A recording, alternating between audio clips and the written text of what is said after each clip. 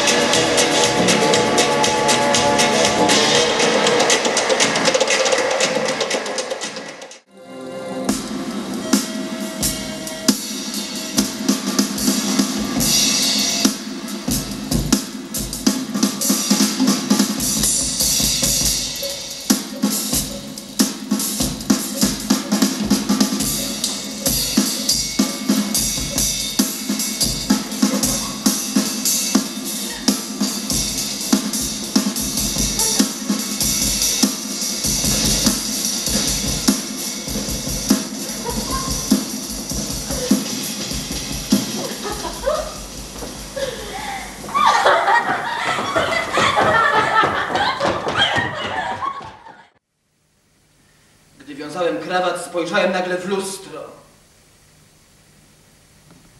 Siwe włosy. Kompletna ruina. Wtedy zacząłem kląć. Ty stare próchno! Ty tchórzliwy psie! Ty zdechła szkapor Odessa!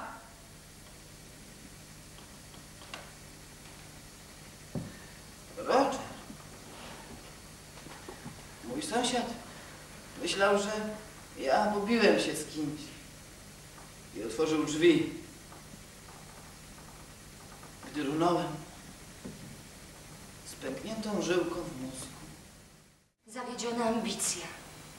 Albo fatalna pomyłka w życiu, która je beznadziejnie zamąciła od początku do końca. Będzie jak ból w boku, jak rak płynęła przez sny wasze w tym śnie ostatnim. Gdyby było mi dane żyć rok jeszcze, ukończyłbym latającą maszynę, zyskując pieniądze i sławę. Nic więc dziwnego, że kamieniarz, usiłując wyrzeźbić gołębia na mym grobie, upodobnił go do kurczaka.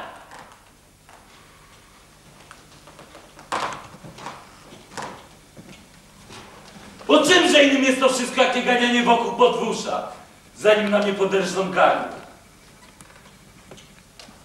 Tyle tylko, człowiek obdarzony anielskim umysłem wie wcześniej o istnieniu topora.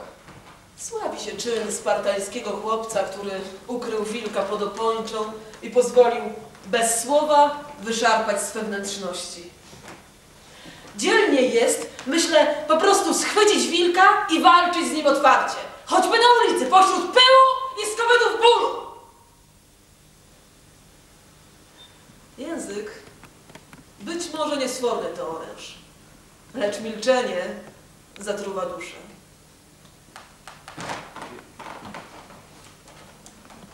Niech kto chce mnie osądza. Ja nie żałuję. Byłam pośmiewiskiem w miasteczku. Język nie umiał powiedzieć tego, co kłębiło się w mojej głowie.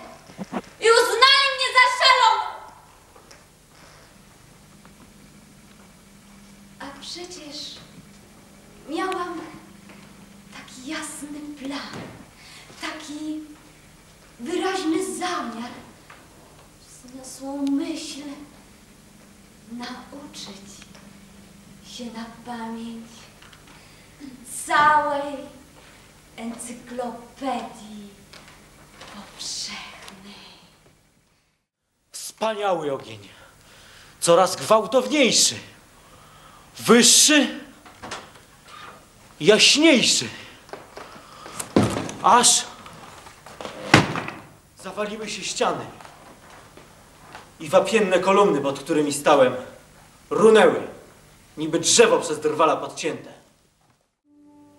Teraz wiem, że trzeba podnieść żagiel i chwytać wiatry przeznaczenia dokądkolwiek pędzą łódź, nawet ryzykując szaleństwo. Bo życie jest męką niepokoju i niepewności. Jest tylko łodzią tęskniącą do mórz, która nigdy nie wypływa z portu. Jest tylko łodzią tęskniącą do mórz, która nigdy nie wypływa z portu.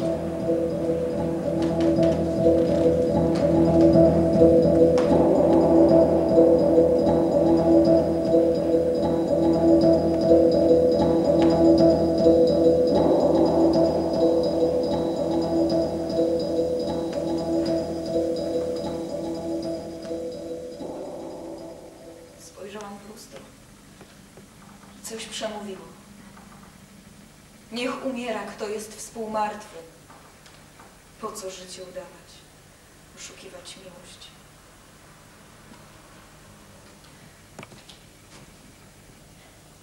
I zrobiłam to, patrząc w lustro.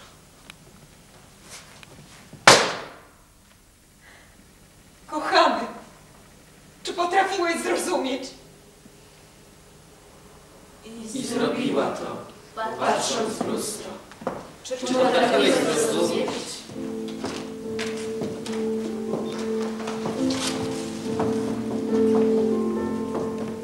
Ty, który widzisz to wszystko, powiedz, jak to jest, Powiedz, jak to jest, że na tym zboczu wzgórza, spadającym ku rzece, zwróconym ku słońcu i południowym wiatrom, zwróconym ku słońcu i południowym wiatrom, jedna roślina wysysa z gleby i powietrza trujące jady, stając się zatrutym bluszczem.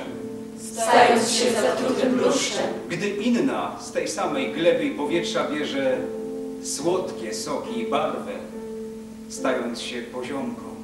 stając się poziomką I obie kwitną. i obie kwitną. I kogo zganisz? Zapragnienia, które tkwią w tobie. I rozwijając się, czynią cię dmuchawcem lub pokrzywą. Czynią się dmuchawcem lub pokrzywą I które jakąkolwiek wykarmione glebą nie przemienią cię w jaśń lub glicynię. nie nie przemienią się w jaśń lub glicynię. Gdzież jest dom o słabej woli? Herman o żelaznych pięściach. Błazen Ber. Awanturnik John. Wszyscy Wszyscy śpią tu na wzgórzu. Gdzież jest Ela o czułym sercu? Krzykliwa Meg, dobroduszna Kate. Ambitna Lizzie. Wszystkie, wszystkie śpią tu na wzgórzu. Słuchajcie wy, żyjący zmysłami, świat oglądający poprzez zmysły tylko. Nieśmiertelność nie jest darem. Nieśmiertelność się zdobywa. I tylko ci, którzy usilnie walczą o nią, wejdą w jej posiadanie. I tylko ci, którzy usilnie walczą o nią, wejdą w jej posiadanie.